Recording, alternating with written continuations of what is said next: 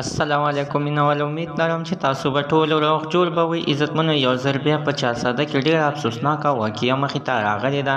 خینا ماشومه چې د اتو کالو ماشومه ده عزتمنو دا په ډیران کې مړه پرته وه راځئ مینه ول دا واقعه اخر چا کړې ده او څنګه شوې ټول معلومات زه تاسو سره په دې ویډیو کې شریکوم ما سره د ویډیو تر اخره پورې وګورئ چې تاسو ته پوره معلومات در ورسیږي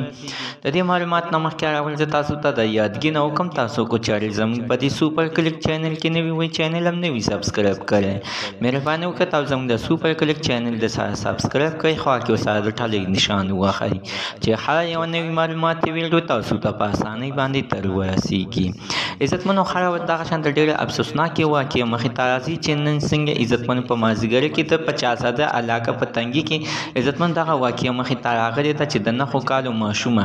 عزتمنو دا ته کو نه بیدارکه شوې و چې مور او پلار ورپسې ګرځېدل چې خینا ماشوم اخر کم ځای کې ده اخیر ورته عزتمنو یو افغاني ویل چې تاسو په دې ډیران کې وګورئ چې په دې ډیران کې خو پرته نه ده عزتمن دغه ډیران د دغه ماشوم د کور مخې ته و چې یعنې یا به لس لس میټره نه خواته یا به لس میټره دې خواته خو مینوالو د کور مخې ته و چې بې نه چې یو او دوی چې دغه ماشوم په سګرزیتونو یو افغاني ورته ویل چې ګوره تاسو په دې ډیران کې وګورئ دا ماشوم شه چې په دې ډیران کې وي عزتمن د ماشوم پلا چې ډیران وکتو نو د ډیران د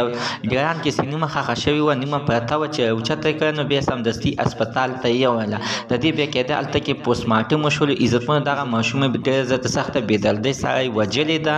او اوس عزتمنو د دغه د ماشومې پلار سره پلار یې نه دی انصاف غوښتنه کوي، وایي چې زما قاتل همدا کوي که یو افغانی دی په بل چا باندې زما یقین نه راځي ځکه چې کوم کارونه په دې جینۍ سره شوي افغانی راته ټول هغه حقیقت بیان کړ، ټولې لوبې په دغه جینۍ کې وې. عزتمن زموږ د دې ویډیو مقصد ته همدا چې خپل ماشومان هیڅکله بهر ته مه پرېږدئ خپل ماشومان باندې خیر ساتئ نن سبا دغه شانتې ظالمان پیدا شوي دي ماشومان بې ګناه وژل کېږي او وژني یې زموږ د عزتمن تر نن ورځې معلومات د دې ځای پورې د نوي معلومات دپاره د سهار زموږ د سوپر کلیک چینل د سهار سبسکرایب کړئ خوا کې ورسره د ټلۍ نشان ووایئ چې خاله یوه نوې معلوماتي ویډیو تاسو ته په اسانۍ باندې در ورسېږي